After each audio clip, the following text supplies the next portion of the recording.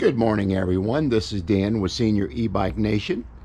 I just want to let you know that tomorrow I will be putting my Cyrusher Kommoda through a uh, range test where I'm going to be uh, riding uh, pedal assist 1 through 5 and showing you the speeds that I'm at uh, as I'm doing the ride. And I'm also going to be doing a um, throttle uh, range test as, as well tomorrow. So I just wanted to give you guys the heads up that that will be tomorrow. And we'll put this Kommoda through its paces. So I will see you tomorrow on the trail.